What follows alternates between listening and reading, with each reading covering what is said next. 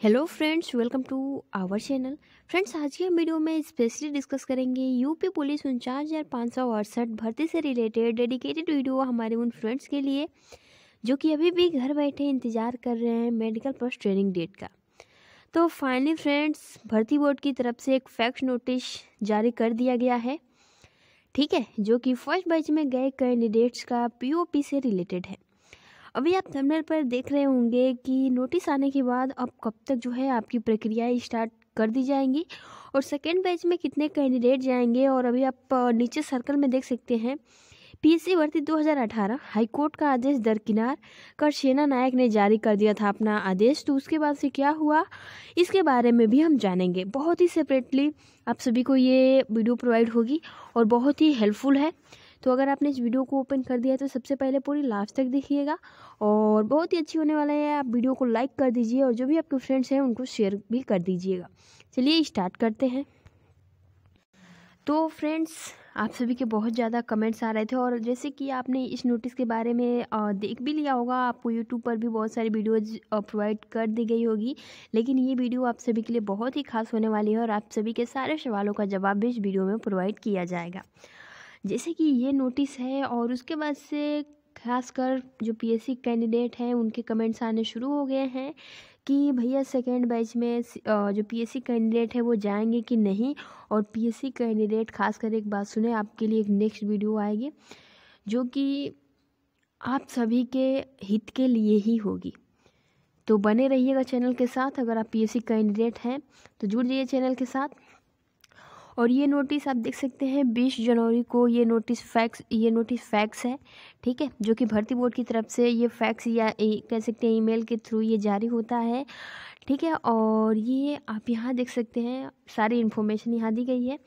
बस आपके लिए इम्पोर्टेंट यही है कि इसमें ये दिया गया है कि किस और डेट को क्या होना है और जो इनका पीओपी होना है फाइनली ये तो आ, मतलब फाइनल हो गया कि जो इनका पीओपी होगा पासिंग आउट परेड होगा, वो होगा ग्यारह पाँच दो हज़ार इक्कीस को।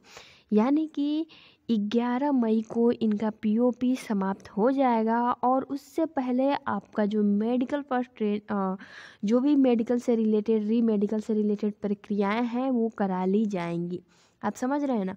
अब जैसे इकतालीस हज़ार पाँच सौ बीस में हुआ था कि अभी उनका पीओपी समाप्त भी नहीं हुआ था, तब तक कैंडिडेट्स को ट्रेनिंग के लिए भेज दिया गया। तो हमें भी लगता है कि इस बारी भी ऐसा ही होगा।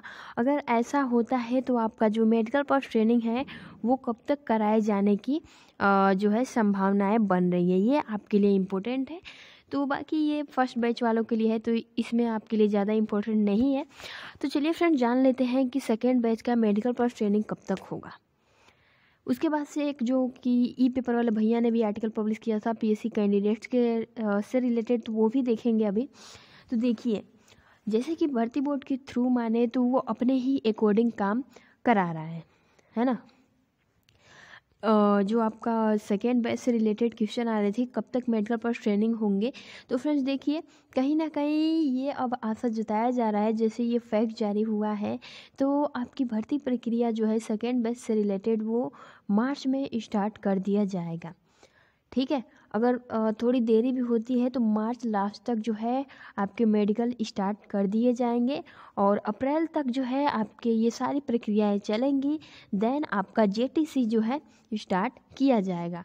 हो सकता है कि मई मंथ भी आपका बीत जाए जेटीसी स्टार्ट होते होते लेकिन हाँ आप मान के चलो कि जो आपका मेडिकल से रिलेटेड सारी प्रक्रियाएँ हैं, वो मार्च लास्ट से स्टार्ट कर दिए जाएँगे और अगर ऐसा होता है तो जल्दी आपको इन दिनों फैक्स नोटिस एक देखने को मिलेगा, जैसे कि फ़र्स्ट बैच के लिए नोटिस आया था सेम वही नोटिस ठीक है?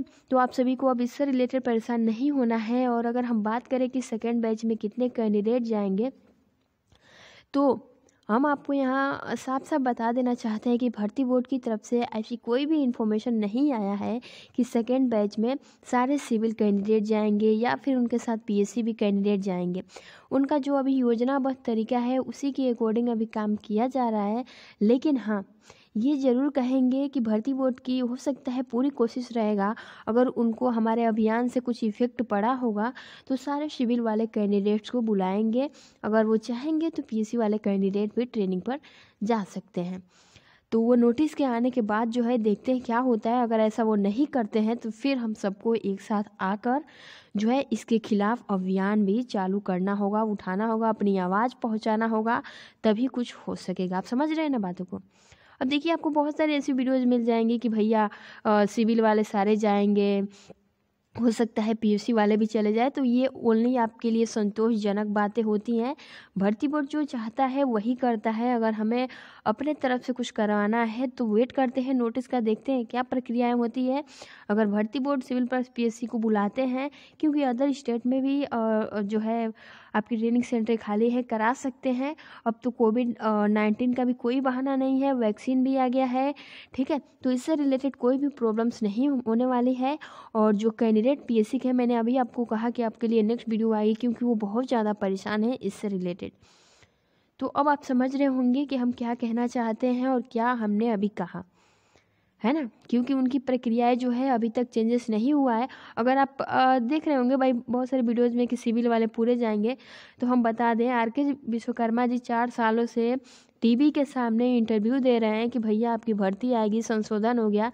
तो अगर हम उनके बातों के अकॉर्डिंग चल रहे हैं तो बहुत ही आप गलत सोच रहे हैं कि भैया उन्होंने कहा और कोई बात हो जाए। समझ रहे हैं ना? तो आई होप कि अब आप इतना समझने के लिए काफ़ी है। तो अब देखिए नेक्स्ट जो आपकी बात आती है, यहाँ।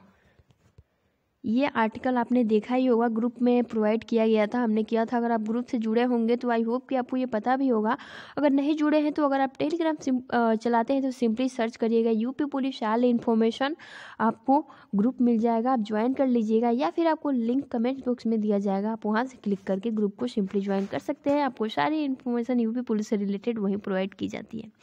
और ये भर्ती पीएससी कैंडिडेट से रिलेटेड है और हाई कोर्ट का आदेश दरकिनार, जो एक सेना नायक था, वो अपना जो है आदेश उन कैंडिडेट्स पर चलाया।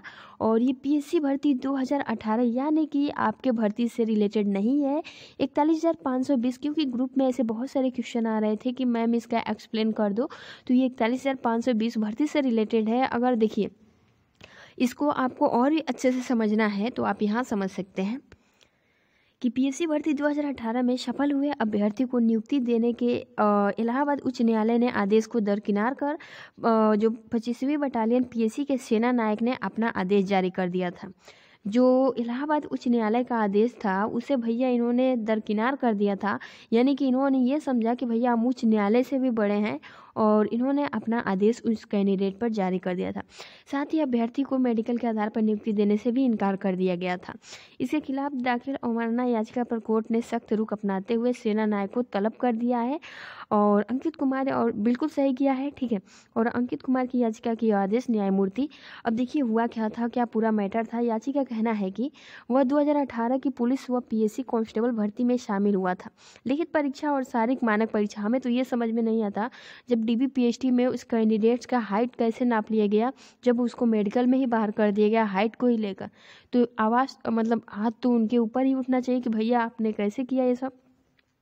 तो उसी को बात मतलब वही बात लेकर ये सारी प्रक्रियाएँ चल रही हैं और लिखित परीक्षा शारीरिक मानक परीक्षा वह सफल रहा, लेकिन मेडिकल टेस्ट में उसकी लंबाई शारीरिक मानक परीक्षा में नापी गई तो लंबाई कम पाई गई। इस आधार पर उसे नियुक्ति देने से भी इनकार कर दिया गया। इसीलिए याची ने ये हाईकोर्ट को जो है चुनौती दी और हाईकोर्ट ने भी कैंडिडेट्स का साथ दिया, लेकिन उस कैंडिडेट्स का जो है जो भी आदेश था, इस सेना नायक ने दरकिनार कर दिया था तो इसी को लेकर जो है फिर से तलब किया गया है।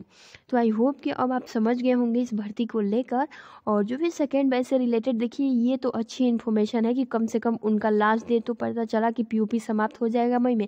यानी कि मई से पहले आपका मेडिकल प्लस ट्रेनिंग जो है स्टार्ट कर दिया जाएगा। आप सभी को बिल्कुल भी परेशान नहीं होना है। तो फ्रेंड्स मिलते हैं नेक्स्ट वीडियो में। तब तक के लिए आप अपना ख्याल रखें। Thanks for watching take care अगर आप हमारे चैनल पर नए हैं तो अभी सब्सक्राइब कर लीजिए चैनल को। आपको पता ही है, आपको सारी इन्फॉर्मेशन इस चैनल के थ्रू सबसे सटीक प्रोवाइड करने की कोशिश की जाती है।